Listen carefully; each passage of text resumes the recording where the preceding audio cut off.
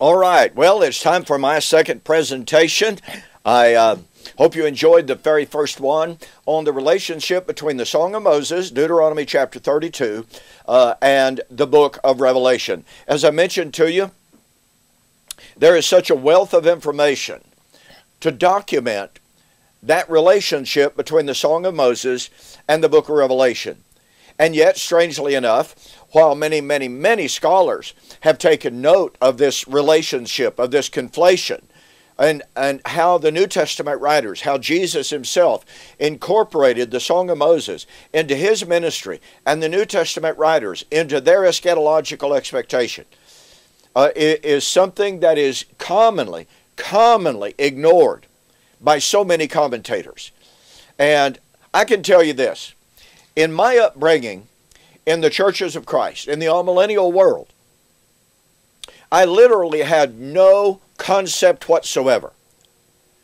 I have no memory whatsoever of a single Church of Christ minister ever, ever discussing the relationship and the importance of understanding the Song of Moses in order to understand biblical eschatology. And, folks, here's the reason why.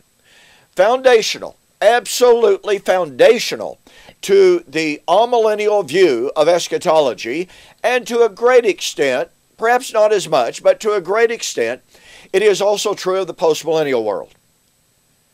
But foundational to the to amillennialism is the view that number one, the law of Moses was quote nailed to the cross unquote.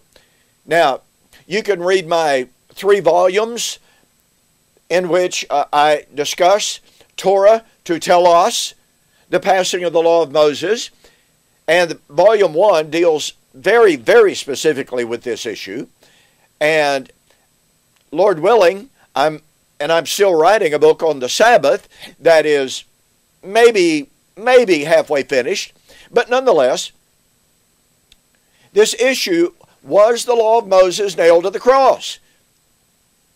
And men such as Kyle Pope, that I've mentioned in my very first presentation, are absolutely adamant that the law of Moses was nailed to the cross. And that following the cross, God was no longer dealing with Israel in any way whatsoever to fulfill any of their covenant promises.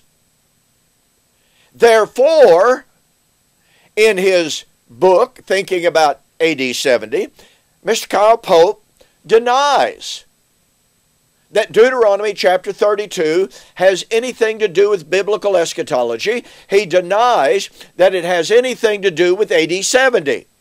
Although, as we have noted, and as we will note in this presentation, he nonetheless says that it's distinctly possible that the Song of Moses may have may have applied, quote, especially, unquote, to the first century. Well, he can only take the position, based upon his presuppositional view of the passing of the law, he can only take the position that the law of Moses applied up until the time of the cross. But as we are about to see, the New Testament writers the book of Revelation, particularly, is focused on the imminent fulfillment of the Song of Moses, and particularly two things, two issues, two subjects. Number one, the great day of vengeance of our God, and number two, the avenging of the blood of the martyrs. So, before we get into that, let me let me refresh our memories as to what I presented in my very first lesson. Point number one, I pointed out how that scholarship, biblical scholarship, that goes into and, and really focuses on the intertextuality uh, of Scripture. In other words, how, how and if the New Testament uses the Song of Moses, does it use it? How does it use it? Etc. And I pointed out major, major scholars, none of whom are preterists, all agree that the Song of Moses was paradigmatic for Jesus himself, for Paul, for Peter, and for John. Secondly, I pointed out to you how Josephus, first century witness to the fall of Jerusalem, Josephus of the priestly family, who therefore understood the dominant worldview of the Jews and their attitude toward the Old Testament, Josephus believed that the Song of Moses was being fulfilled in the destruction of Jerusalem and in the events leading up to it. Number three, I pointed out and I demonstrated how the Jews of the day, and of course Josephus is a good representative of that, of how the Jews of the day believed that indeed, pardon me, indeed the Song of Moses was to a great extent a roadmap of Israel's history. There was no question that throughout history the song had application, but they also believed, this is pointed out by their great 11th century scholar Rashi and by other noted rabbis, they believed that the Song of Moses had an ultimate eschatological application to the last days.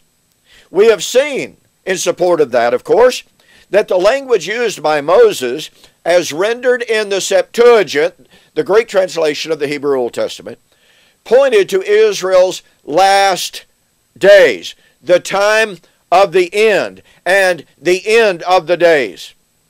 And we have seen that those who try to use linguistics, focusing on the Hebrew word akarit, to simply say, well, the Song of Moses was predicting uh, events to happen sometime later, at a later time. They, they are guilty of a logical fallacy of illegitimate totality transfer because what do they do? They go to passages that are not discussing what the Song of Moses is discussing. And they find applications in those other passages, again, that are not part of a discussion of what the song is discussing, but they take that context and that definition of the word there, and they impose it on the Song of Moses. Then we saw that in the New Testament, Peter, uh, excuse me, Jesus in Matthew 7, 17, 17, Peter in Acts chapter 2, verse 40, Paul in his writings, and particularly, and boy, this is so critical, Paul in Romans 10 and 11 cited the Song of Moses Deuteronomy 32, 19 and 21, which foretold the calling of the Gentiles into Israel's blessings. And Paul cited, not only cited the song, but he applied it to his ministry to the Gentiles. It was his justification for his ministry. Now, look, folks, let me reiterate what I have stated. If the law of Moses was abrogated, annulled, taken out of the way, and removed it at the cross, then clearly Paul was wrong to apply the song to his ministry. So, in my first lesson, we discussed the time frame for the fulfillment of the song of Moses. And let's let's just hurry on because I've, I've already used up an awful lot of time here. So nonetheless, I want now to develop two other themes that are found that are part and parcel of the warp and the woof of the Song of Moses. Number one, the great day of God's vengeance. And number two, the avenging of the martyrs. These concepts are absolutely interrelated with one another. They cannot be divorced from one another, as we will see.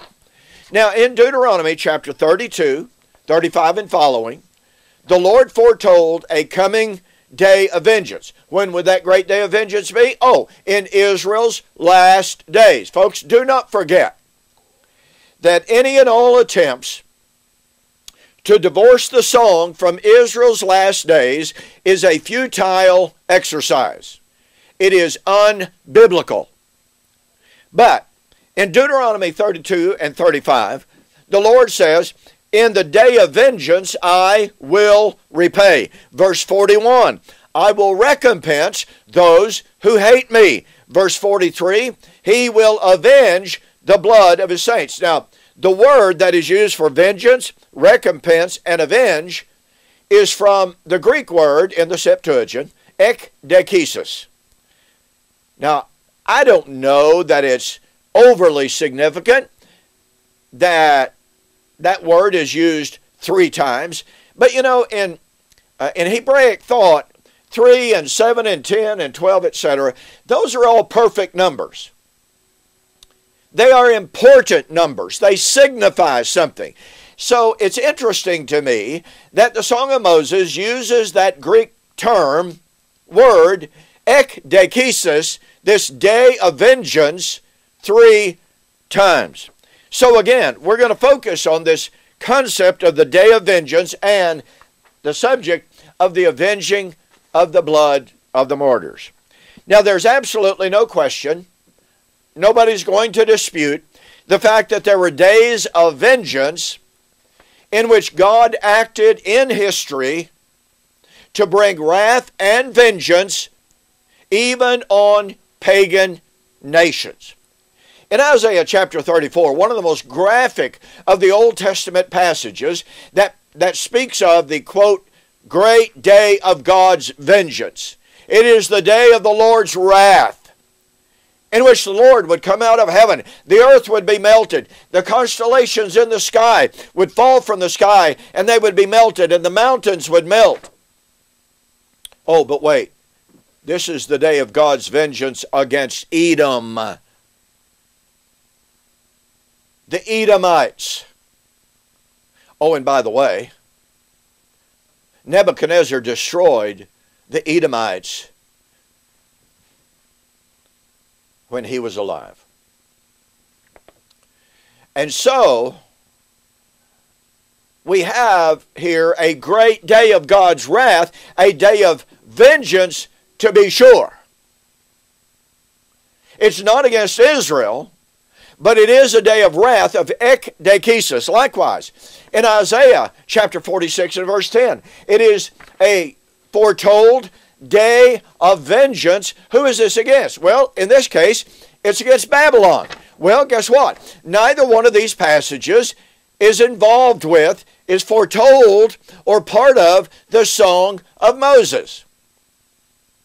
However, in the Tanakh, the Old Testament, we find that there are the predictions of the last days, day of vengeance.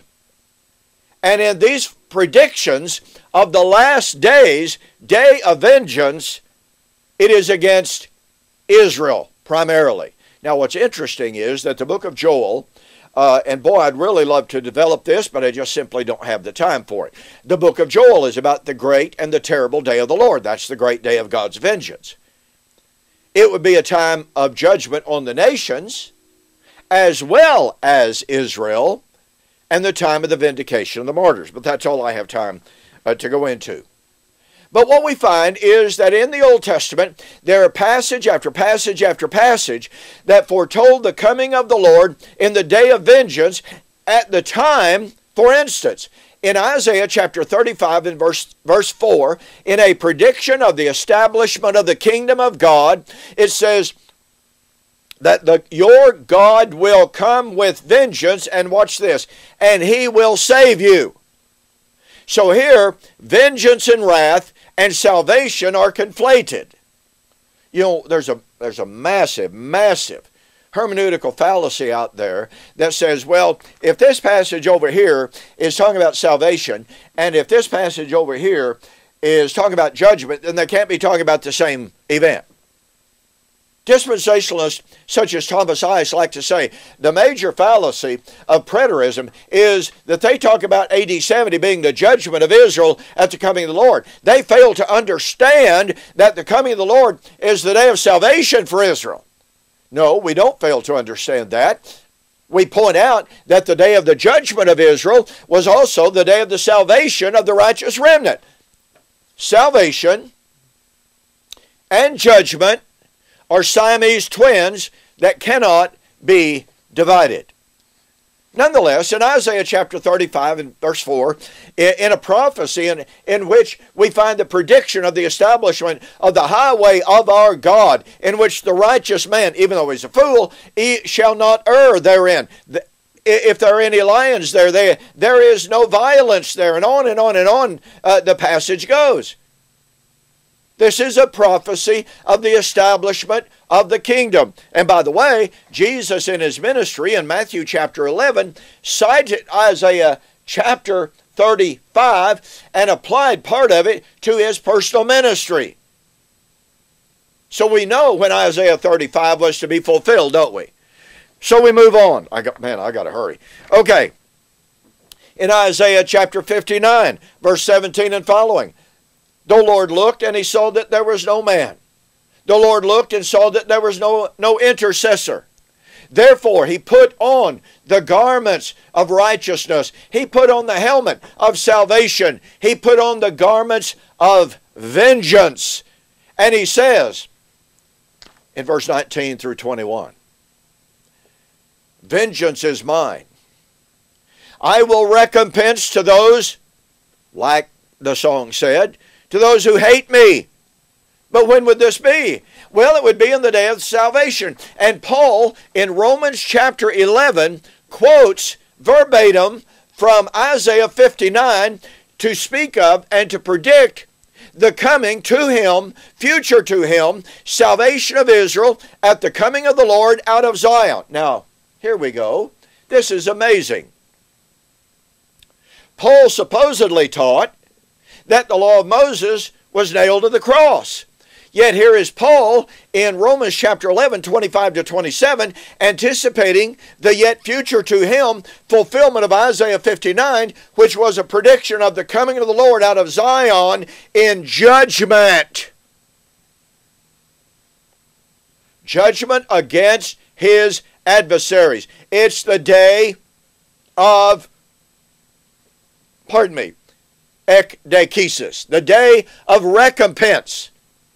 And who's it against? Well, all you got to do is read Isaiah 59, and it's against Israel. So you have the salvation of Israel, i.e., the remnant, and you have the destruction of Israel, the body. And of course, then we have the famous passage in Isaiah 61 1 to 4. The Spirit of the Lord is upon me, for he has anointed me, and he has he has anointed me to preach the glad tidings of good things. He has sent me to heal the brokenhearted, to set at liberty the captives, to proclaim the acceptable year of our God and the day of vengeance, ek ekdekesis, of our God. Now, here's what's important, of course. In Luke chapter 4, 16 and following, Jesus in the synagogue of Nazareth was given a scroll of Isaiah. He stood up and he read, and he read Isaiah 61, 1 through 4. He stopped at the statement, The Spirit of the Lord is upon me to proclaim good tidings of glad things, to proclaim the acceptable year of the Lord. He stopped right there. And some commentators say, well, that means he didn't come to proclaim the day of vengeance, which of course is specious because he did throughout his ministry proclaim the coming day of vengeance. Luke 21 22, in a passage describing the fall of Jerusalem. Jesus said, These be the days of vengeance, ekdekesis, in which all things that are written must be fulfilled. So here's Isaiah chapter 61 uh, predicting the coming of the Messiah who is going to predict and speak of not only the day of, of salvation of our God, but the day of vengeance. And Jesus foretold the day of vengeance, i.e., AD 70, when all things that are written would be fulfilled. We must move on.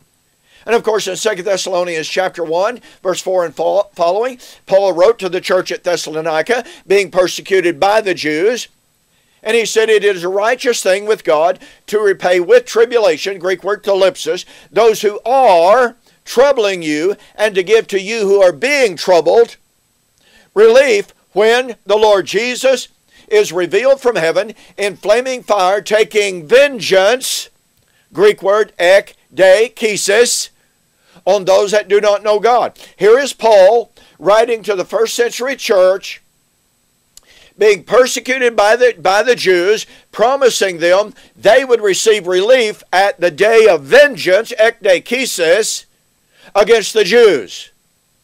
Just like Isaiah 35, just like Isaiah 59, just like Isaiah 61, and a host of other passages that we don't have time to, to get to. So, then we come to the book of Revelation. In Revelation chapter 6, 9 and following, John said, He saw under the altar the souls of those who had been beheaded, slain for the word of God. And they cried out, How long, O Lord, do you not avenge us on those who are on the earth? And they were given white robes and told to rest for just a little while until their fellow brethren and saints who should be slain as they were should be fulfilled. And what's next? The answer to their prayer. What is the answer to their prayer? It is the great day of wrath and vengeance of our God. Now, Undoubtedly, it's going to be in a third lesson, but point is this. In Revelation 6 16 and 17, that great day of God's wrath is a direct citation from Isaiah chapter 2 through 4, as well as Malachi chapter 3. So, what we find here is that the Song of Moses foretold a day of vengeance, a day of recompense, a day of avenging in Israel's last days. I want now to look at a New Testament passage that utilizes the song in a very powerful, powerful way. In Hebrews chapter 10 and verse 30, the writer is writing to Christians who are being persecuted, once again by the Jews. And he says, Call to mind when you were very first illuminated, how you endured a great fight of affliction against yourself, partly by reproaches and afflictions, and partly while you became partaker of those, partners of those who were so afflicted. For you took great comfort, the writer says, you took joyfully the spoiling of your goods, knowing that you have in heaven a greater and an enduring substance, because we know the one who said, Vengeance is mine, I will repay, says the Lord. And again, the Lord will judge his people. It is a fearful thing to fall into the hands of the living God. He says that actually before he says, recall the former days. But now notice, he then says, here he has a direct citation, direct quotation from the Song of Moses Vengeance is mine, I will repay. I will bring vengeance on them, says the Lord. So Hebrews quotes directly from Deuteronomy 32 and a coming day of vengeance against Israel in Israel's last days. And the writer of Hebrews says in verse 37 And now, in a very, very little while, he, the, the Greek of the text is hoson, hoson, mikron, how very, very little. Or how, how little, if you please. And he will not tarry. And we have commentators telling us, well, you know, he, he's about to come now. Listen, as I filmed this, Day before yesterday, someone wrote on my YouTube channel, the rapture. Now, they, they wrote this, okay. They wrote this on June the 10th, saying the rapture is going to be today or tomorrow.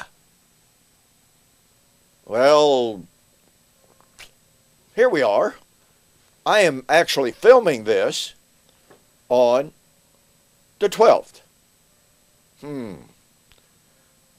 The rapture was supposed to have been yesterday or the day before, and I guess I missed it. And if you're watching this, I guess you missed it too.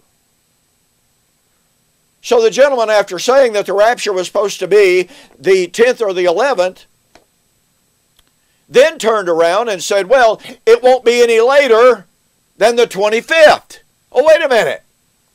How do you go from the 10th to the 11th to the 25th? And oh, by the way, you know what his justification was? Well, there were several ladies uh, on YouTube who, after all, have had dreams. You know, I'm not trying to be harsh or critical, but it may very well be that those ladies ate a bunch of jalapenos and they were having a reaction in their dreams. well, anyway, the, the promise uh, uh, here of Hebrews chapter 10 is clear, it is emphatic, it is unambiguous. Hebrews promised the vindication of the saints at the day of wrath, ekdekesis, in the context of Israel persecuting the saints, and he quoted directly, verbatim, from the Song of Moses. Well, it brings us back to the point that I've made repeatedly in the first lesson and in this one as well. If it is true, as is taught by the amillennial and the postmillennial world, and by the way, even the dispensational world to a certain extent, they tell us the law of Moses was nailed to the cross. Well, guess what, ladies and gentlemen? Deuteronomy was part of the law of Moses. Even Thomas Ice, with whom I've had four debates, says in one of his writings the entirety of the law of Moses, including Deuteronomy, has been fulfilled and taken out of the way forever. Okay, wait a minute. Here's the writer of Hebrews, Hebrews chapter 10, promising suffering saints that their persecutors are going to be judged in the day of vengeance foretold by the Song of Moses. But Hebrews was written years after the cross. Do you see the problem? So, here's what's important the concept of wrath and vengeance at the great day of God's wrath vindication, vengeance, etc. That term, that concept is found 16 times in the book of Revelation. And that day of wrath and vengeance would be against Babylon, the great persecutor of God's people. Now, do you catch that? The day of wrath, the day of vengeance, the great day of God's wrath and vengeance, that motif is found mentioned 16 times in the book of Revelation, and it is focused on the judgment of Babylon. So we ask the question who in the world is Babylon? I remember a book entitled, Who is This Babylon? Might get a copy of that.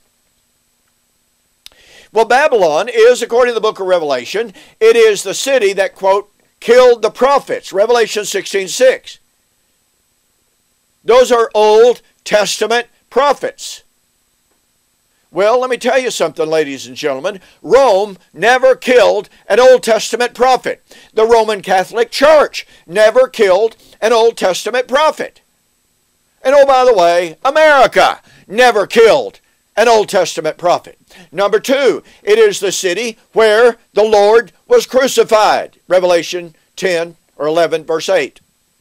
Number three, it is the city guilty of killing the apostles and the prophets of Jesus and of shedding all of the innocent blood shed on the earth. Revelation 18, 20 and 24, which, by the way, is a direct echo of Jesus' words in Matthew 23, 29 and following, that he emphatically said, that the judgment of those who had shed all of the blood shed on the earth would be required and avenged in that generation. Not some future generation, that generation.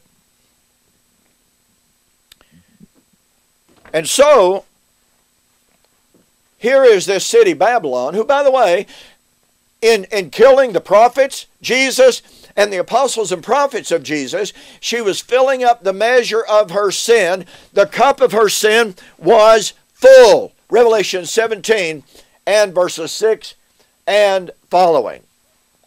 Now, I want to suggest to you, ladies and gentlemen,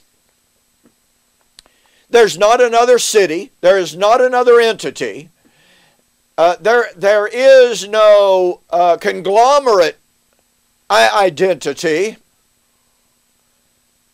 of some proposed Babylon, that is a quote, composite, unquote, of Jerusalem and Babylon, literal Babylon and literal Rome. And no, no, no, no.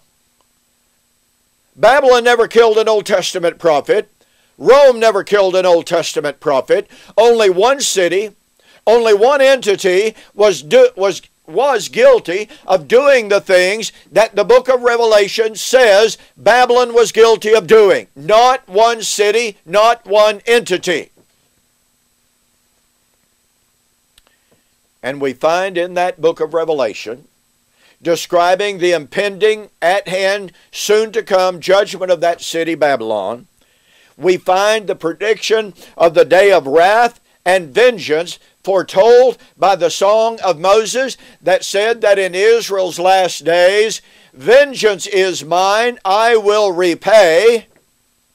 And in Revelation 19 and verse 2, at the destruction of Babylon. The song of victory, the song of triumph is sung. The Lord has avenged the blood of his saints. A direct echo, a direct citation of Deuteronomy 32 and verse 43. Now remember, folks, Moses foretold the last day, the coming of the last days, day of vengeance. Once again, verse 35. In the day of vengeance, I will repay. Verse 41. I will recompense those who hate me. By the way, it is important to note that this word recompense and ekdikesis means I'm going to pay back.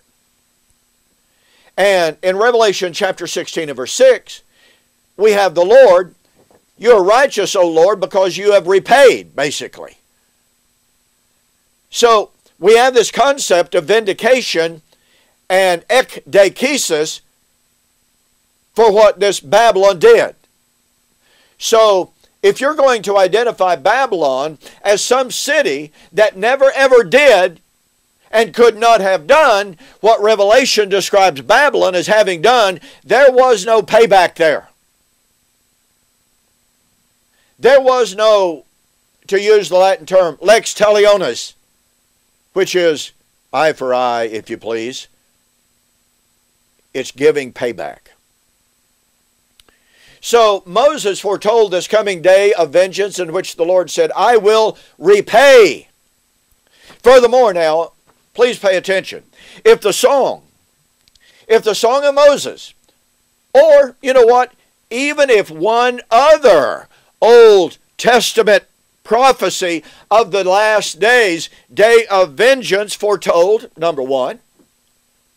If, it for, if any Old Testament prophecy foretold the destruction of Jerusalem in AD 70, or if even one of them foretold the destruction of Rome, or if even one of them foretold a yet future or even a post cross day of vengeance, then guess what, ladies and gentlemen? The futurist view, amillennial, postmillennial, even dispensational, the futurist view of the passing of the law of Moses is wrong. Listen, when a law is abrogated, it's abrogated. Period. Done. Over. Mr. Kyle Pope, that I have cited, says in his book, if a law or a covenant has been abrogated, annulled, taken out of the way, it is no longer applicable. So let me reiterate if even one Old Testament prophecy foretold AD 70, or foretold the destruction of Rome, or foretold absolutely any post cross day of vengeance. Listen, if any Old Testament prophecy foretold the end of time, then the law of Moses didn't pass away at the cross, and the law of Moses will remain valid until that proposed end of time. Without any doubt whatsoever, Revelation is focused on the last days, day of vengeance, in fulfillment of Old Testament prophecy. And as we will see, it had to be fulfilled in AD 70. So let me drive home the point that I've been getting at, that I've already stated, that is so critically important for our understanding of the applicability of the Song of Moses to the book of Revelation. As we have seen, the Song of Moses foretold the last days, day of vengeance, it foretold the day of the Lord. Clearly, Revelation is focused on the last days, day of vengeance, and that day would be against Babylon. Now remember, remember this, and I know I'm repeating, but this is important. Futurism says that God was through with Israel at the cross, and that Revelation was anticipating the destruction of Rome as Babylon, or even the Roman Catholic Church at the supposed end of time. That's the view I was raised on, by the way.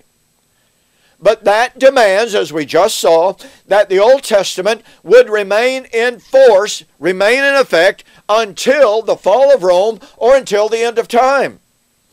Now, to escape this inescapable dilemma, it must be proven that although Revelation, listen, pay, and pay very careful attention here, it must be proven that although Revelation cites, echoes, and quotes more Old Testament prophecy than any other New Testament book, over 400 some sources say four, 440.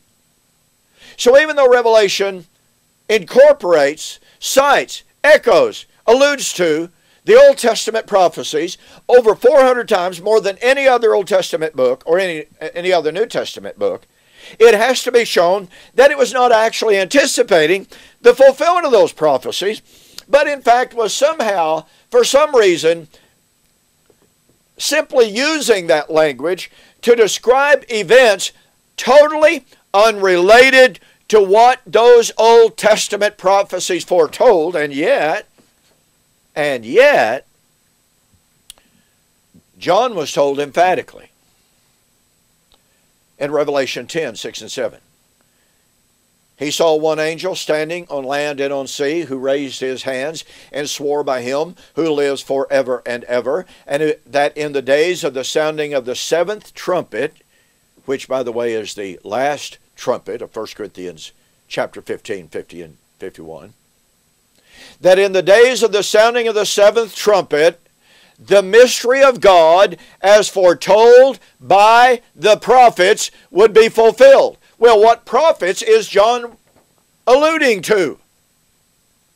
What prophets does John cite, quote, allude to, and echo more than any other New Testament book? It's the Old Testament prophets. It is therefore, it seems to me, extremely specious to say, well, yeah, you know, uh, the Song of Moses, it did foretell the day of vengeance in Israel's last days. Now, I, I have to I have to throw this little ever so brief digression in here back to the point I've been emphasizing. If you take the position, number one, the Acharit in the Song of Moses just simply means that sometime later. Uh, no definite, no, no definite generation is in mind. And of course, that's contra Paul, that's contra Peter, that's contra Jesus, when the Greek that they used pointed to a single generation. The perverse, the generation, this. Acts 2.40 tells us. So, when you try to make the Song of Moses applicable, you know, here and here and here and here and here, at what point is the Song of Moses no longer applicable? Well, again, Kyle Pope tells us that it's certainly distinctly possible that the Song of Moses uh, applied, quote, especially, unquote, to the first century. So, in his view, remember, the Song of Moses could not apply after the cross. But here we have the New Testament writers after the cross repeatedly quoting and applying the Song of Moses to their generation. Now, since we have Jesus, Peter, Paul, Hebrews, and Revelation, all applying the Song of Moses to their generation after the cross, and yet they are applying it to the day of the Lord, then that means that the final application, the last days application, was in the first century, unless you want to argue that the Song of Moses, which is about Israel, it's not about the church, and it's not about the last days period of the church. It's about Moses. So, since we have the New Testament writers, once again, we have Jesus, we have Peter, we have Paul, we have Hebrews, we have Revelation, all applying the song to their day, their time, and the imminent day of the Lord.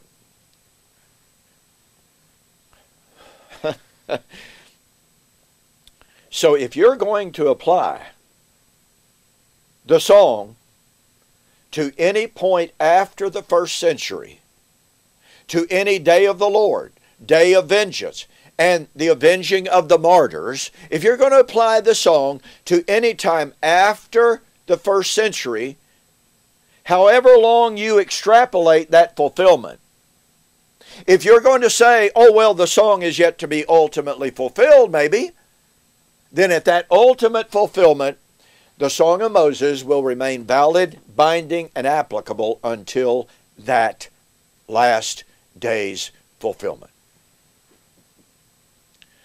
And so this, this motif, this motif of the day of vengeance of our God is an absolutely critical motif.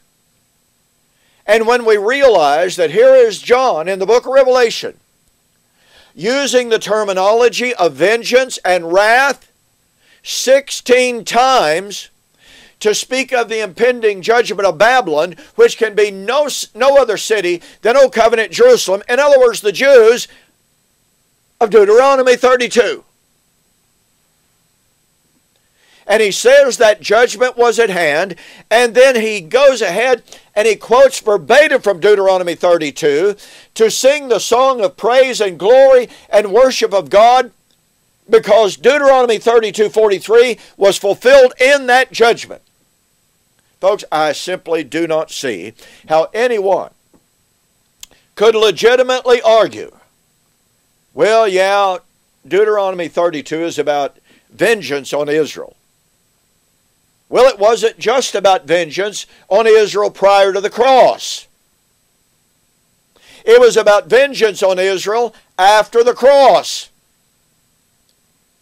And it was about vengeance on Israel, as just stated. It's not about vengeance at some um, proposed, pardon me, proposed end of time. Let me reiterate the Song of Moses and its promise of the vindication of the martyrs absolutely has nothing to do with the end of time, has absolutely nothing to do with the judgment of Rome, the Roman Catholic Church, or America. And thus, when the New Testament writers are quoting from the Song of Moses and applying it to their day, they are applying it to the impending judgment of Jerusalem and Israel. Well, I haven't gotten to my fourth point, and that is the day of vengeance in direct conflation with the avenging of the martyrs of God, foretold by Deuteronomy 32, verse 43. which was a prophecy of the avenging of the martyrs of God in the judgment of Israel in Israel's last days. Now, in anticipation, if you're going to posit another yet future, quote, end of time avenging of the martyrs, then you're going to have to get it from some other book different from Revelation, different from Hebrews, different from Thessalonians, different from Corinthians, different from Romans or any other New Testament book that directly quotes, cites, and alludes to the Song of Moses. And I say respectfully, you cannot find a different prophesied and predicted great day of God's wrath for the avenging of the martyrs divorced from the Song of Moses. Well, I'm out of time for this lesson, so I, I'm going to have to I'm going to I'm I'm going to have to give the rest of this lesson in maybe two installments. So see, that's one of the advantages advantages of having a virtual Preterist Pilgrim weekend. It doesn't take up time away from any other speaker. How about that? All right. Well, thank you so much. I appreciate your good attention if you've given me that. I hope this lesson resonates. I hope you can see the importance of the Song of Moses to the book of Revelation. And as we shall see when we get to the end of this discourse, what this means is that the Song of Moses is fulfilled in the book of Revelation, and that calls for the rejoicing of the Gentiles with God's people because the Gentiles are now fully incorporated with Israel into the new creation. Thank you so much.